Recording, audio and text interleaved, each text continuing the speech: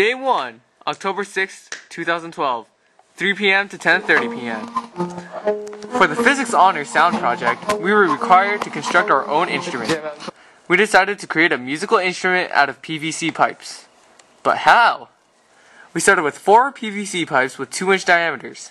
These pipes were all around 1.53 meters, which, when connected with U-shaped couplings, created an F natural pitch according to our tuner when hit with a drumstick.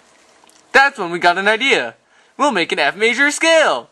If we cut the four pipes equally into 0.08 meter halves, we would get the same pitch of an F natural in a lower octave because when the speed of sound is constant, the frequency and wavelength are indirectly proportional.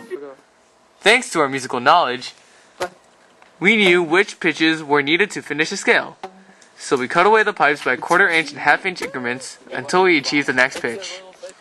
The reason for cutting these increments was so that we wouldn't cut too much of the pipe, therefore preventing a sharp pitch. We kept doing this until we got the G note and the A note, finishing the day with three twos with flawless pitch. Steve cut and glued the pipes, Joe supplied the tools and conducted the measurements, Anderson supplied the equations and tuner, Juan was the messenger. Juan, we need a pencil.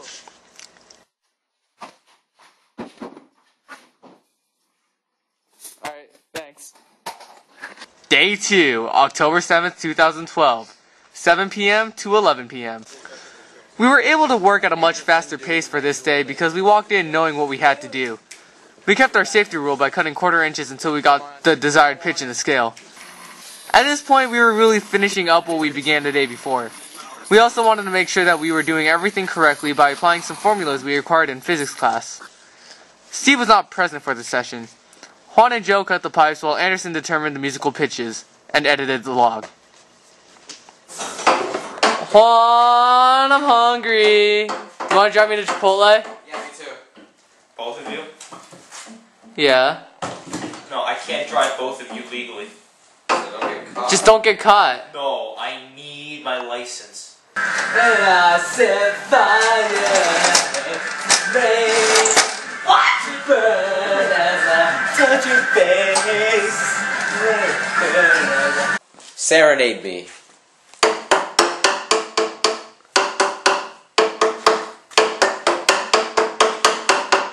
Mm-hmm.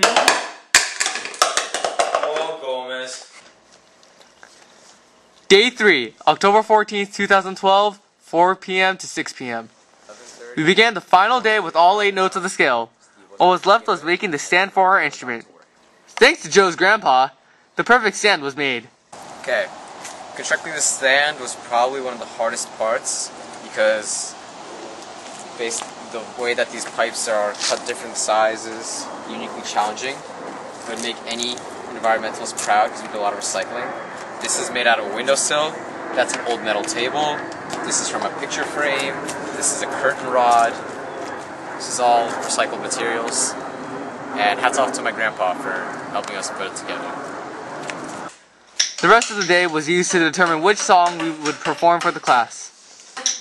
Steve again was not present.